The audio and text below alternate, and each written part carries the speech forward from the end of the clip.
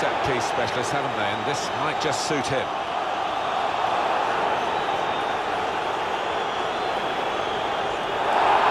Easy decision for